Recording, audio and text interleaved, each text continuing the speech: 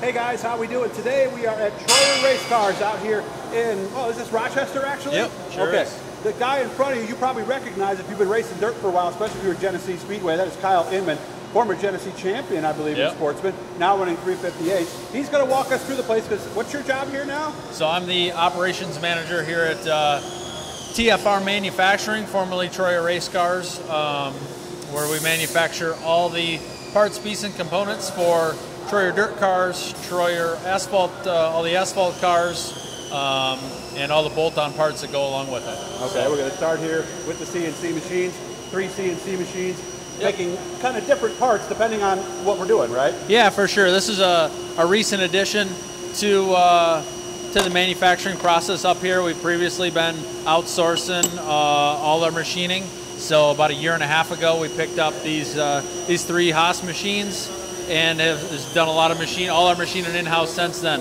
Um, you know, we're able to, you know, make modifications on on the move now, which is uh, which is a big plus. You know, ever ever evolving into new, you know, new technologies and new designs and new thoughts. That's uh, you know really key for us to be able to to make those changes when we need to. Yeah, you can make as many as you want. For sure. And then if you, like you said, if you want to make a change after 50, you can. Yep. Uh, and you don't have to order a thousand to try to keep the cost low. So over there, that is a piece they use for bending rub rails over Yep. there. What is that called? Yeah, also that's our brand new CNC uh, bender. So that's a, another new addition about two years ago.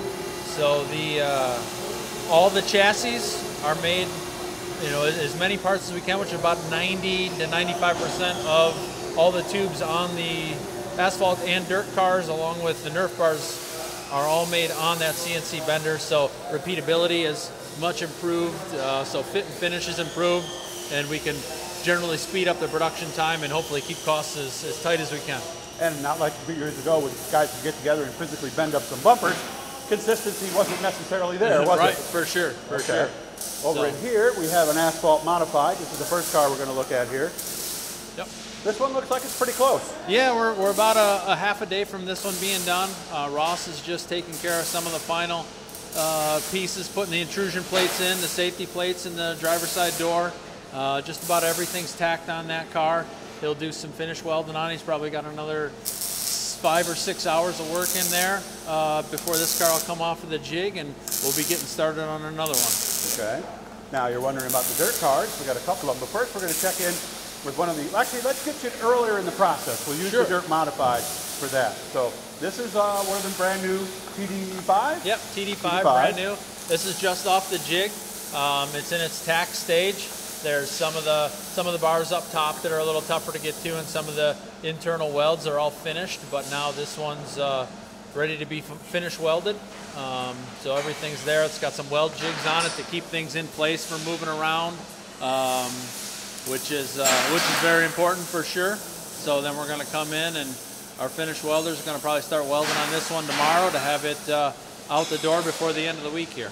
And what he's talking about, you see, these are tack welds. These are not Yep. the final welds. That holds it, basically just holds it in place. And Yep. the jig he's talking about, that's this over here. So this is where this car was a while back. Yep. And you can see the parts that are the jig itself and the parts that are the race car. Like that's the jig there. For sure. Here's the jig up here. So that way you get the repeatability that you need. So Yeah. this one, this is where this, the one we just looked at was right before this. Yep. Yesterday that car was right over here on this jig. Uh, this jig is also a, a fresh addition to the shop as well uh, to again add consistency, and uh, it's been a, a, huge improvement for us. Um, you know, we're able to build cars, you know, from the ground up and and keep things a lot square, a lot straighter than we were in the past, and and repeat. You know, I mean, that's what jigs are all about, and that's what uh, you know, Troyer um, you know, Troyer customers have come to appreciate and love is the, you know, the, the fine details of a Troyer chassis, which is, is definitely what we can uh, achieve, uh, especially now with the new jigs and the new processes we got in place. Okay, so now from where they went before, okay, remember we showed you that one there. This is the guy who does the finish welding on the asphalt cars. And when you talk about a rotisserie, Yep. that's what this is, right? Yep, absolutely. We've got rotisseries for the asphalt cars and the dirt cars. You know, there's uh, there's hundreds of welds uh, in every chassis, and you know we may have along the along the lines gotten a car with a missed weld, and you know it's never never something you want to see, and we do our best to make sure when they get out of here they're triple checked to uh, to ensure that all the welds are hit. And uh, you know, there's just every every which way and angle you can imagine. You know, there's a weld in these cars. Okay, so he's finishing that up. In rotisserie, they could actually turn this either Yep. way. So when I was in here at first, it was upside down. Yep. This guy's got to be pretty limber to get in this car. So Oh, he's got yeah. to stretch before he gets yeah, to work. So. for sure, for All sure. right. Now we're going to make our way to the back of the shop. See here's some of the 2x4 for the frame here. Good job, man. Now this asphalt car here, there are actually four Troyer locations, and this one is going to go to the one that's out of state, correct? Yep, all our asphalt parts, pieces, and components go out to uh, Massachusetts and West Boylston, Mass. to TFR distribution. So that's where you'll be able to get all your TA1s, TA4s, TA3s, and uh, LFR Gen 2 chassis. All are built here and then head out there to Massachusetts to get powder coated, assembled, and uh, all the final setups and final touches for the cars as well. You probably heard on this channel guys talking about when they have to clip a car. Yep. A lot of times they'll have front end impact. This is the clip, this part here. So if you look down here, this is the area where they would, basically you cut it there, right? And then put a new front clip on, which is this piece here, correct? Yeah, absolutely. You know, unfortunately, those things happen in racing, as we all Yeah, know. they do. And uh, Never you happened to you, but that's yeah, well, unfortunately, we've had to write one or two of them off, and uh, you know, we've we've tried to design in some elements to make it easier and uh, to replace the front clips and, and do repairs on the chassis to at least speed up turnaround time. So when uh, you know when they show up on Monday all wadded up, we can get somebody back on the track uh, on the original jig that was built on, which is most important. And you know, you've seen that. I know you've seen those Facebook memes. Five dollar an hour weld, forty-five dollar an hour weld. These are definitely some serious welds. And For sure. welding for people who don't want to go to college, that's a great skill to have, isn't it? Absolutely. You know, we've got a trade school right around the corner uh, from here that we've actually picked up our, our newest employee from, uh, Nice. straight out of that at uh, Arc and Flame. And uh, they're, they're, they're wonderful. You know, it's, it's nice that there's a, a trade school like that and, and kids still interested in the trades, you know, and that's really what we need, uh, need today. Absolutely. This one's done also. Yeah, this one here is getting ready to powder coat. Uh, this will be going to powder coat. We actually the just got the seat for it yesterday. So Um, the seat, by the way. for the we got to mount the seat and make a seat mount for it before it heads off to powder coat, and then uh, you know we'll be uh, we'll be ready to head this to the customer and start assembling this Nice. uh, here in about a week or so. We got a couple more stops here. We only got about two minutes left here. Yep.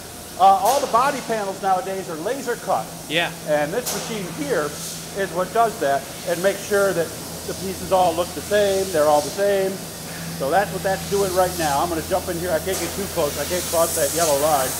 You guys have worked in factories. No, you never cross the yellow line. You see it cutting the piece right there.